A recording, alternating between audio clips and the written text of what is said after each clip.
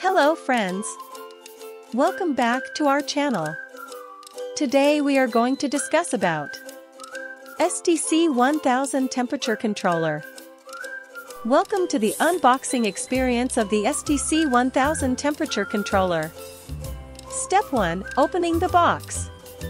As you open the box, you'll find the STC 1000 Temperature Controller securely packaged. Step 2. Contents of the box. Inside the box, you'll find the following items.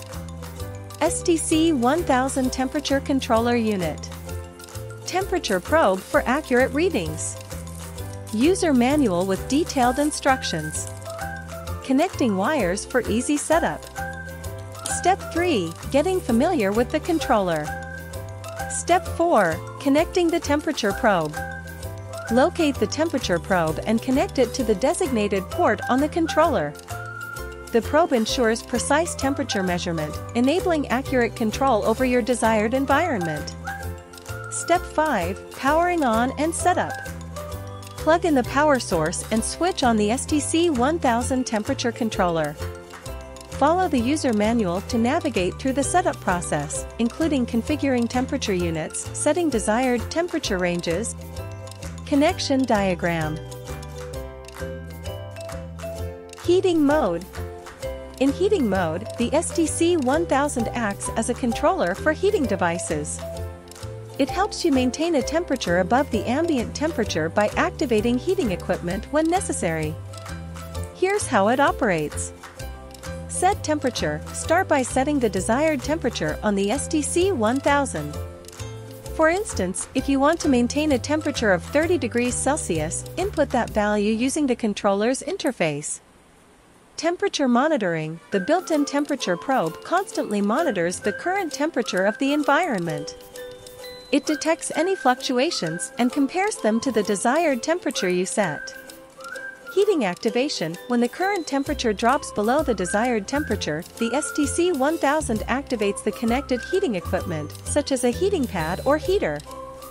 The controller provides power to the heating device until the temperature reaches the desired level again.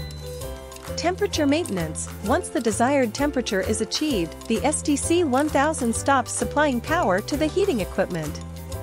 It continuously monitors the temperature and activates heating as needed to maintain the desired temperature range.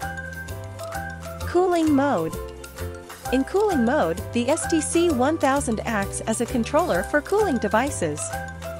It helps you maintain a temperature below the ambient temperature by activating cooling equipment when necessary. By utilizing both heating and cooling modes, the STC 1000 temperature controller ensures precise temperature control, creating an optimal environment for your specific requirements. Whether you need to heat or cool, this versatile controller has you covered.